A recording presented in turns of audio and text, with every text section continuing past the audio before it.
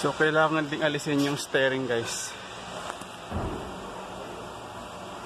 Kailangan din alisin yung steering para matanggal para ma-pull out ito. Para ma-pull out ito buo. So alisin yung cover. Pakita ko mamaya paano pag-alis.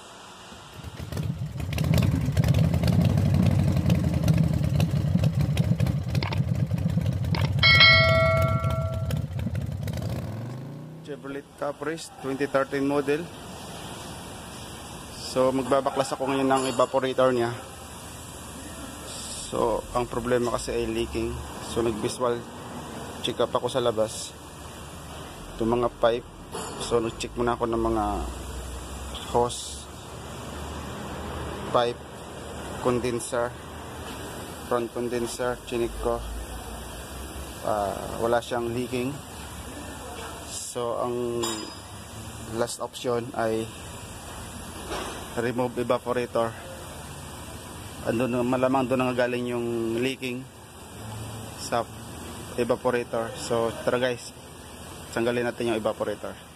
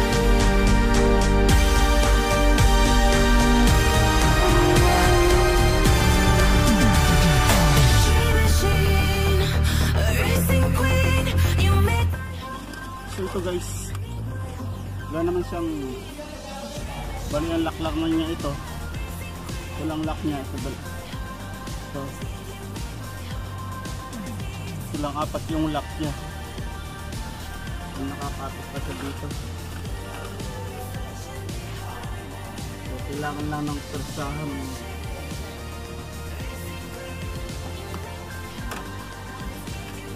sa, sa may baba? Pero sa lang dito. So brief lang dito. Side na to. Grip lang. Kasi may allowance. So, konting side lang nito. Hawakan mo. Diba? Kasi babang ka rito. Ito lang. Baba lang ito. Hilahin mo na siya. Sa pagtatanggal ng radio guys, sa bali itong apat na bolt, tornilyo. So sa gilid,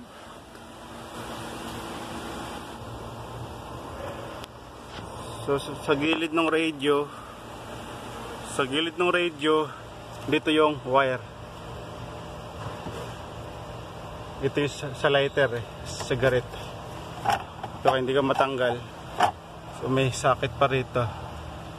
So ito mo ng priority, radio. Wire ng radio. So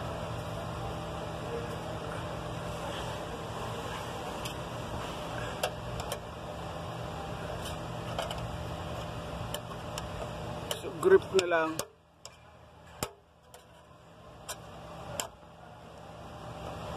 So angat na tong angat na tong lock. So yan. So sa kabilang side ganun din. So sa kabilang side, sa driver side, so dito yung mga antenna.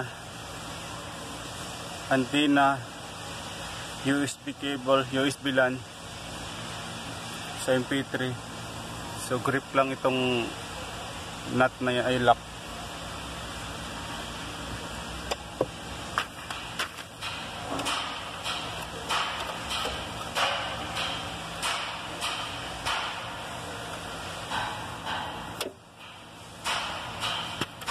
So, antenna, ganun din. Press lang to.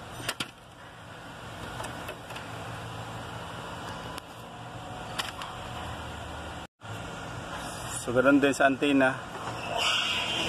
Press lang. Press lang lock. Lock sa upper side. So mapupurot niya radio.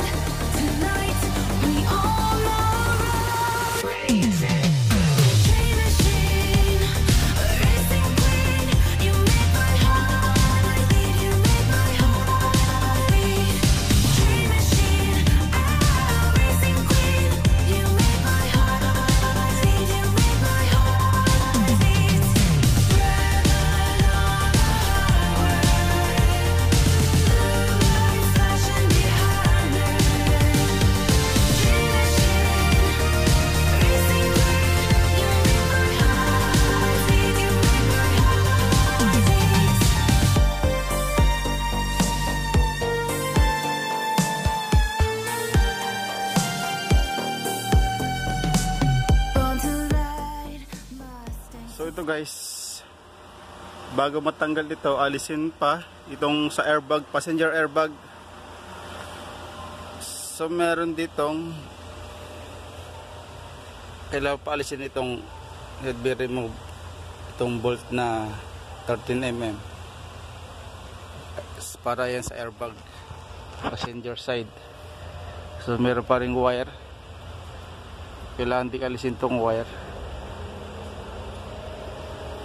kabilaan. Magkabilaan yan. May wire. So kailangan alisin. Para maalis ito. So pagtatanggal ng wire guys wire na airbag. So kailangan mo ng manipis na flat screw para basundot mo tong kulay red. Yung red na yon kailangan mo itaas yan iangat para matanggal mo tong sakit. Kailangan mo sungkitin yung red na yon so ito guys angat mo lang ito.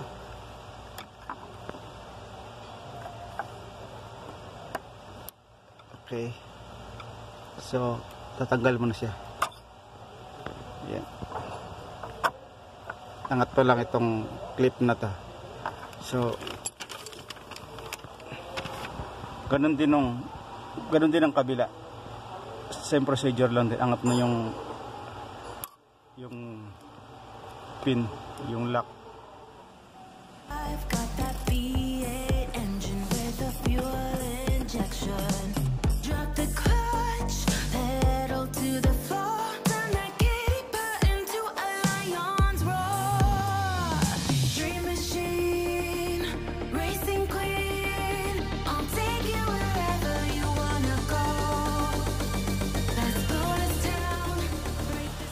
kailangan ding alisin yung steering guys.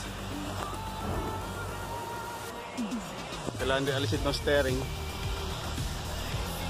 para matanggal para ma-pull out ito.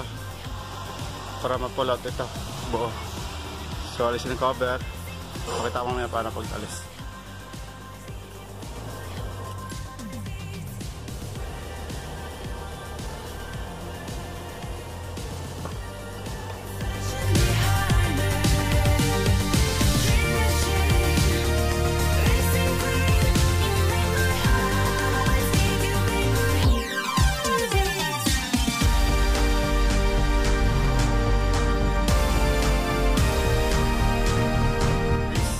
Pagtatanggal nung sa airbag. Same dun sa passenger side airbag kanina tinanggal ko tangat lang itong pin, yung lock na to. Tangat lang ito. Itong dalawa. Pag nangat mabubunot na yan ito yung pinakalock nya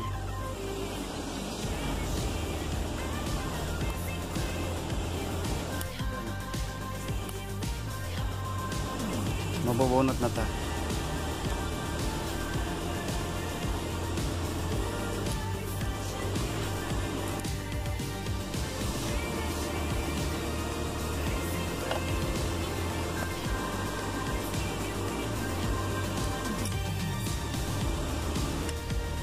So about pala guys sa pagtanggal ko ng lock kanina nitong about pala ito pagtanggal nito. Pagtanggal ko kanina. So sikwatin nyo lang itong ito ito ito. Ito magkabilaan yan. So dito may butas. So ito sa steering nya may butas So ito, sikwat nyo na ng pababa. Kaya lang ah. Yun guys, pag nasikwat yan sa pin sa likod, aangat na siya. oh. Observe nyo to, tataas. Yan na. So both, both sides siya. Ganun din ang procedure. So it, dito naglalak yung sa, sa airbag eh dito so yun lang ang pagtatanggal guys. So bago po tanggal yung steering din alisin ko rin to eh.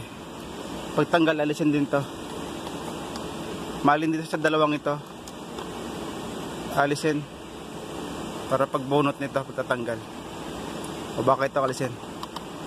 Basta malin sa dalawa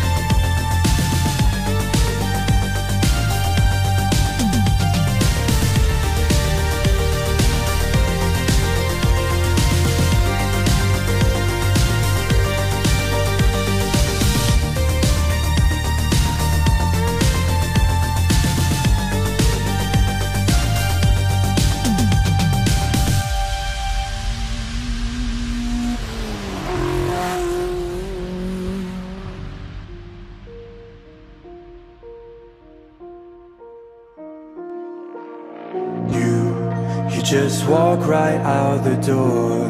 Don't wanna do this anymore. Now I'm lost without you. You drive me crazy out my mind. How'd you do this every time? Now I'm lost without you.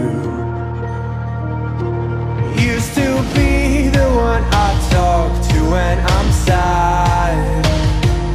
Can't you see now tainted love is all we have? Our issues run so deep now when I try to sleep I feel so bad I should leave and by the time it's done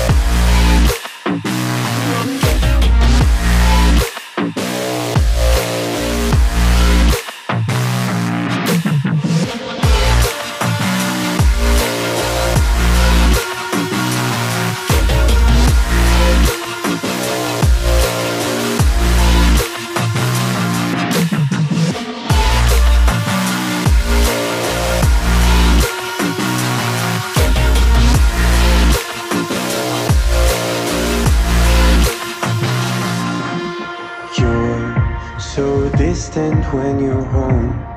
Always hanging by your phone. Do I even know you? And I get paranoid sometimes. Cause I know that you ain't mine. And I'm lost without you. Used to be the one I talk to when So bago matanggal tong evaporator guys.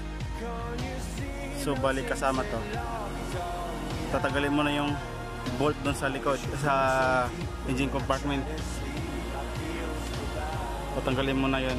Papakita ka muna sa inyo kung paano uh, kung saan tatanggal. So ito guys, alisin. At, alisin natin to. Alisin para matanggal yung evaporator. Tapos yung bolt na to, ito to, 10mm. Alisin yan. So yung heater, heater hose, alisin.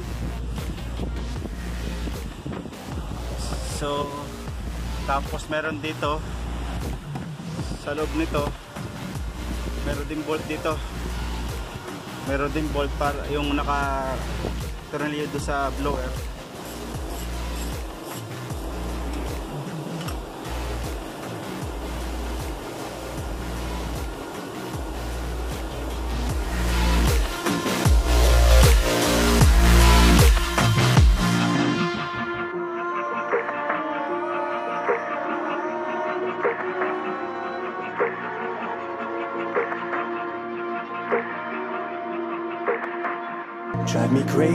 Out my mind.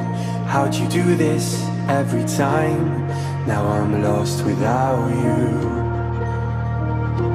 Used to be the one I talk to when I'm sad.